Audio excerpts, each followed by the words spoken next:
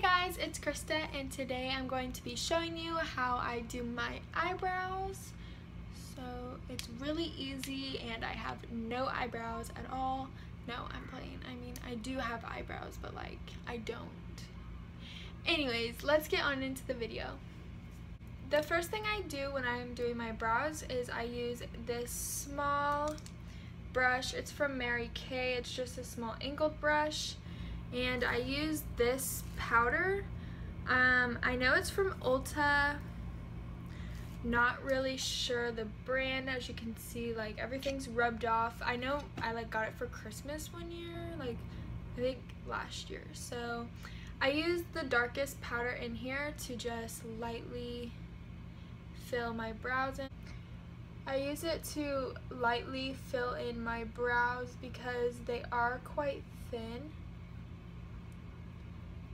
and like the front of them isn't really like there and I don't put any on the tail really and if I do it's like the tiniest bit because I fill the tail in with my DipBrow so it doesn't really matter. After I fill them in just a tiny bit with that powder I go in with the Anastasia dip brow and as you can see I've used this quite a bit. This is in medium brown. And I use this little Sephora brush. It has like a thin angle on one side and then the other side is a spoolie. So I just use that and I fill in my brows. So I'm starting right here at my ar at my arch. So I don't want the front to be too harsh so I start here and distribute the product. Um, I take barely any on my brush because I don't want my brows to be too dark. And I draw the line for the top of my arc. There we go. Looks a little crazy. And then I draw a line under I like lightly put the product under. I go all the way to the front. Then I'll do the tail. So I'll draw a line in the middle of the tail.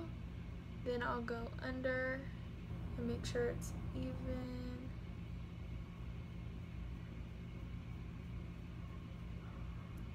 And then do the top.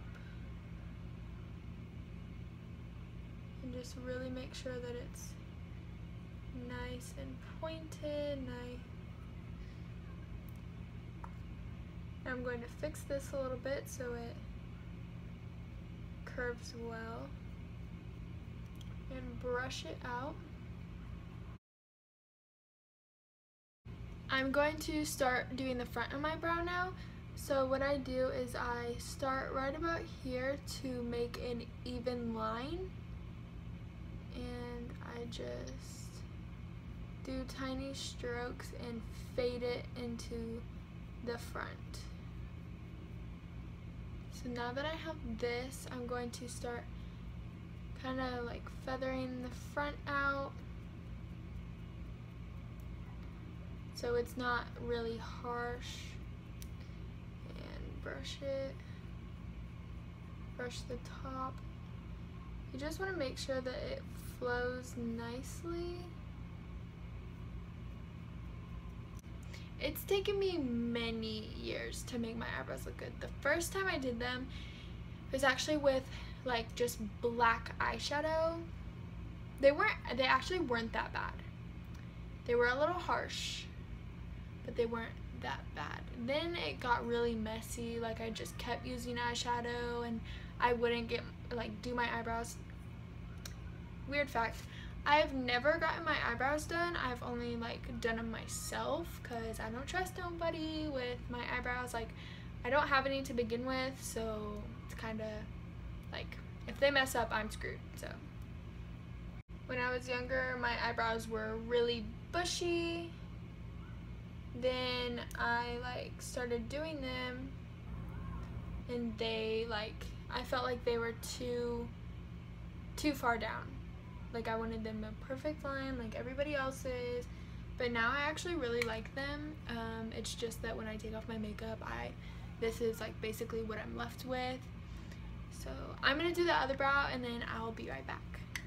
I go in with um, this CoverGirl like brow gel. I'm not really sure what it's called because everything is rubbed off from it, but it's in their darkest color that they make because dark brows. And there's a lot of product that's on this, and since it also adds more color, I just wipe the spoolie off. I start out about the center of my brow, just put a little in, go to the tail. Same thing on the other side. Start in the middle, go to the tail.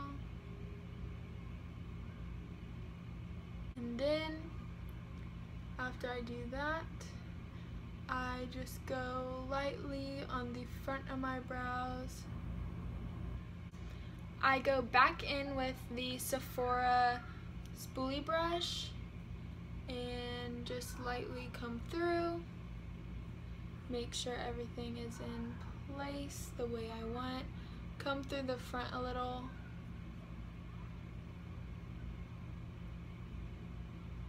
There you go guys, I'm done with my brows. So that is how I do them every day.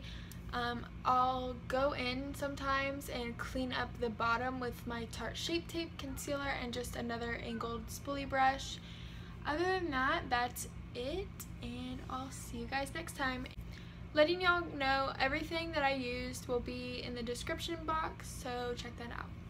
Fill in the sparseness. Is that a word? I don't know. The first thing I... That's great. Anyways,